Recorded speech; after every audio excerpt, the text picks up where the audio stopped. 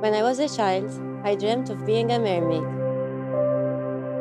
I even had my very own collection of seashells. The vastness of the sea was such a great mystery to me, but these tiny objects helped me to make sense of it all. Having been born and raised on a very small island contributed to such. Malta and its very own hidden treasure, the island of Gozo, are the result of a melting pot of cultures.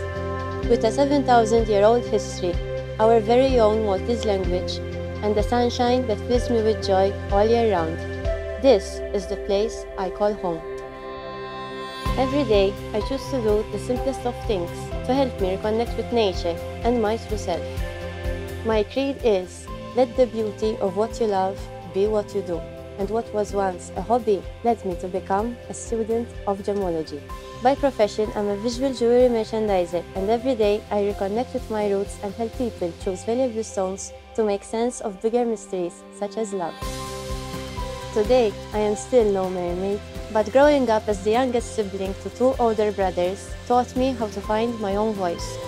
Modeling led me to believe that everyone is entitled to be who they want to be Today, I am who I am as I ardently believe in freedom of speech without discriminating and criticizing others. This is what I truly believe in and hope to contribute during this 65th edition of Miss World. I am Katrina Pavia, and this is my story, as I proudly represent the Maltese Island.